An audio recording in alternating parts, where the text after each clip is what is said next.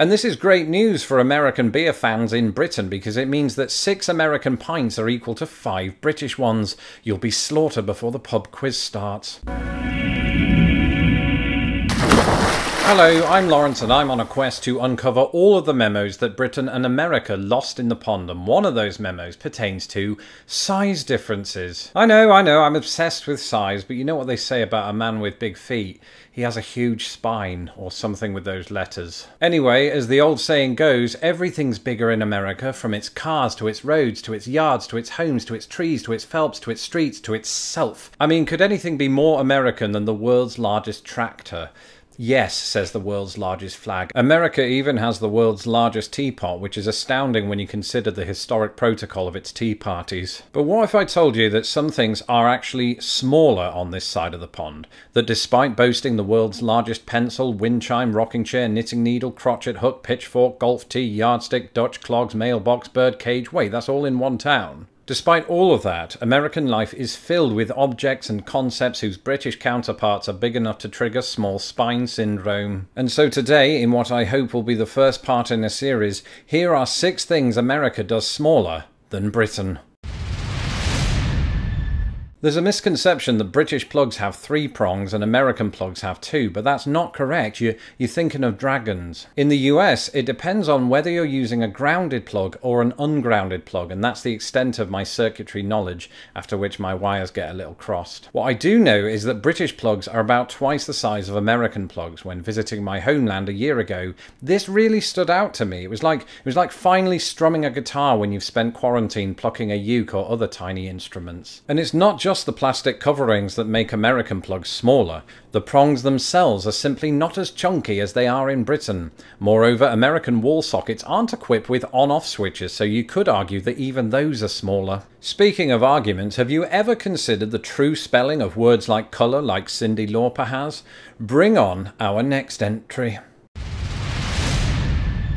I think it was the Bee Gees who said, talk in everlasting words, but in America that's not possible, and that's because a fair chunk of the American dictionary is shorter than across the pond. Due in part to Noah Webster's spelling reform, America did away with pointless letters in an effort to simplify the language and also to stick it to the Brits. Chief among those words is labour, flavour, neighbour, behaviour, rumour, tumour, humour, harbour, honour, splendour, but apparently not glamour, diarrhea, fetal, feces, hope this doesn't put you off your Reese's Pieces, paediatric, anemic, orthopaedic, analogue, catalogue, dialogue, monologue, cancelled, travelled, labelled, quarrelled, marvellous, libellous, disoriented, aluminium, airplane, moustache, and 19 1986 American sports film Best Shot.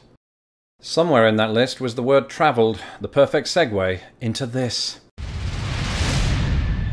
People ask me all the time what I miss most about Britain, and my answer is always the same my 13th century armour. But after that, it has to be comprehensive public transport.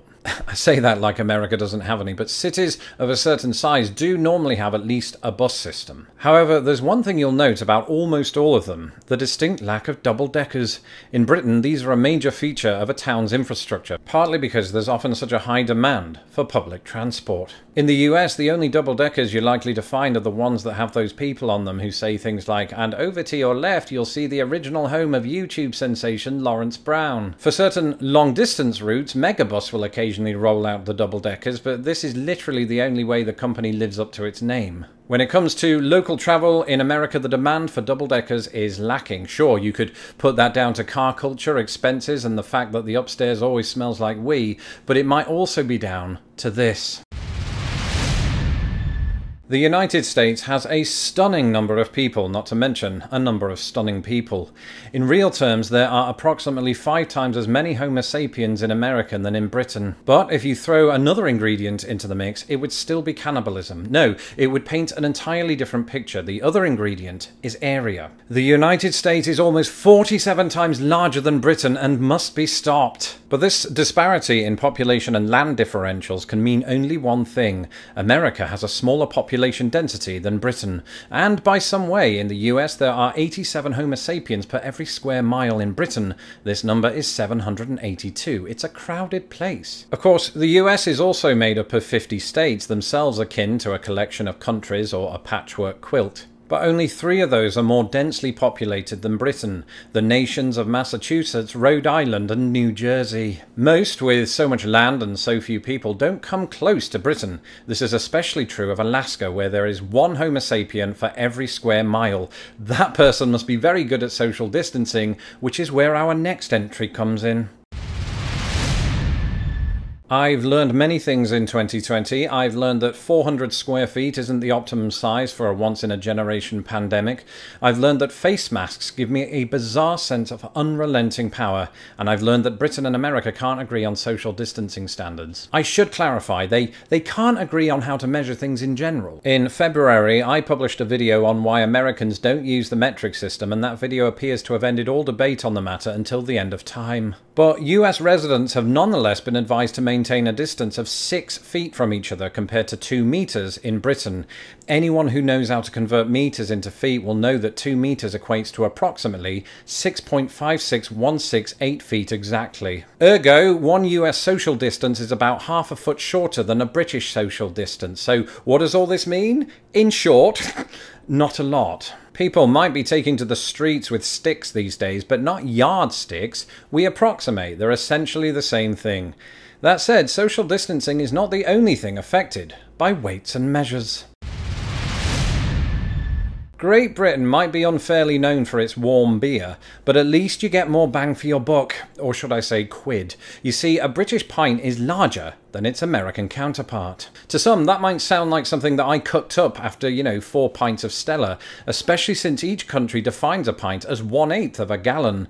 But here's the catch gallons are different too. In the US, a gallon is equal to 3.79 litres. In Britain, it's equal to 4.55 litres. So one eighth of a US gallon gives you a pint of 473 millimetres. A good old British pint clocks in at 568. And this is great news for American beer fans in Britain because it means that six American pints are equal to five British ones. You'll be slaughtered before the pub quiz starts. And speaking of quizzes, here's a piece of trivia. British beer is by no means served warm. In fact, if you order lager, it's as cold as an American beer or Jack at the end of Titanic. Other beers, while not always that cold, are also not warm in the sense that they've been put through a microwave, but rather room temperature, or Kate Winslet. Either way, the ship still sinks. That's it for this episode. Let me know in the comments below about other things that are much smaller in America so that I don't have to do as much research next time.